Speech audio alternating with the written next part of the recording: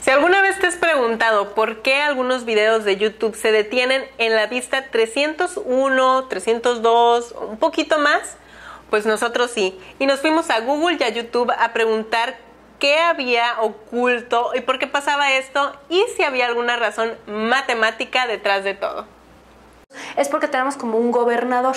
Lo que pasa es que frenamos, digamos, el contador de, este, de videos vistos para analizar si realmente es un video que esté viendo gente o si hay algún tipo programita que esté tratando de engañar al sistema para generar una serie de vistas que no son reales. Entonces, para mantener la plataforma real y este, digamos, vinculada a los usuarios, nos aseguramos de que cada una de las vistas sea realmente hecha por los usuarios. Regularmente pasa cuando vemos videos que empiezan a crecer muy rápido en vistas en un periodo muy corto de tiempo, que se detiene en este 301 para que un equipo en Estados Unidos pueda analizar de que las vistas que se están generando son vistas auténticas y no son vistas de spam, ¿no? O vistas falsas.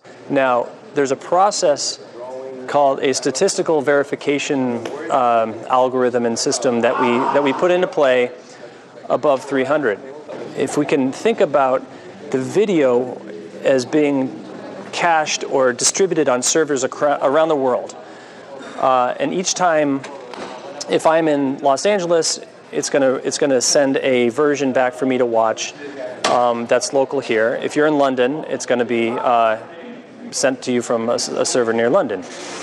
Each time that happens, we send a little message saying, hey, increment that view count, and we write it to a log file by, by one. And it goes and it gets all sent to our central database that, that is keeping track of this. Well, at some point, I think the code says if the view count is less than or equal to 300, uh, then go ahead and just increment the view count. But if it's if, if it's not, then send it to this new process. Ah, ok, entonces cuando llega a la vista 301, este algoritmo lo que hace es, digamos, cierra una puerta para poder analizar todos los datos que van llegando nuevos, o sea, todas estas vistas. Pero ¿qué pasa cuando, digo, a mí me ha tocado ver a veces detenido la cifra o las vistas en 302, 304? ¿Qué pasa con esto? ¿Es un error o algo así? If there's a video that is getting a lot of views, you can imagine there's some there's the possibility for viewers in Australia or Tokyo or London to be uh, viewing it at, at just that right time in which their case is the view count is still less than 300 and they go ahead and send in their incremental log file and it increments that log file even after the gate has been shut off.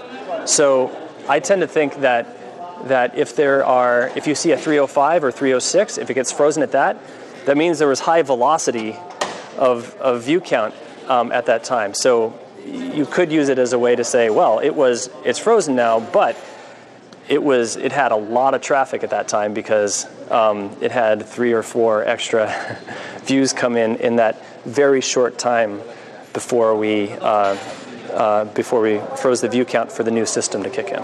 Pero ¿por qué específicamente ese número? ¿Es algún número mágico, místico? ¿Tiene alguna fórmula, alguna razón de ser? ¿Por qué 301?